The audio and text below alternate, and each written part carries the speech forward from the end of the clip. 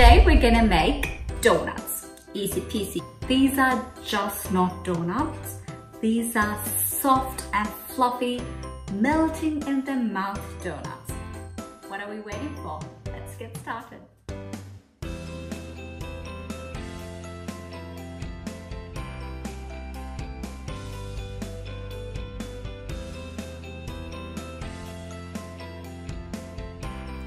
Firstly, warm the milk and add 1 teaspoon of sugar along with the yeast. Leave it aside until it gets fluffy and bubbling. As I always say, when there is a lot of sugar in a dough, it is very essential that you do this process. This is called activating the yeast. Weigh all the dry ingredients together separately.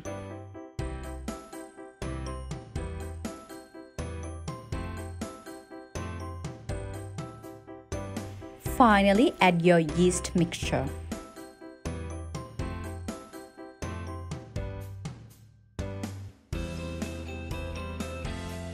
Mix all ingredients together and then finally put it on a work surface and knead the dough thoroughly for around 8 to 10 minutes. This dough is very soft, so knead it until you have a soft dough. If the dough is sticky, use some oil in your hands to work the dough.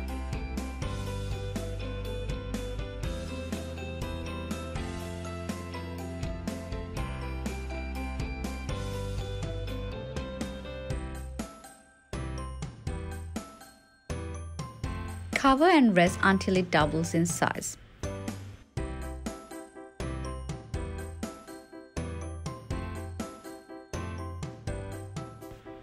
After the dough has doubled in size, working on a flat surface, flatten a dough with a rolling pin.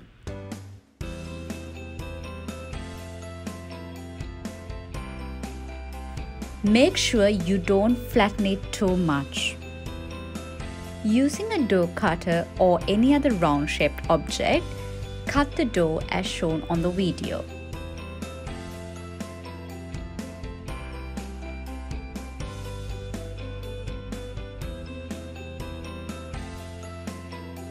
Meanwhile, you can make your chocolate glaze.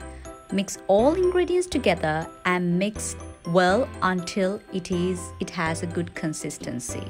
Now remember, don't add too much of milk because this will not stick to the donut. If you add too little, it will be hard to glaze.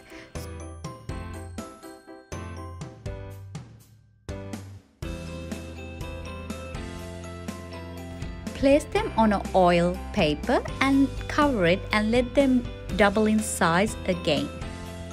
When the donuts have doubled in size again, heat a pot of oil. Now make sure this does not have to be very hot. It has to be in low to medium heat because you don't want to burn the donuts. Now dip your fried donuts into the chocolate glaze.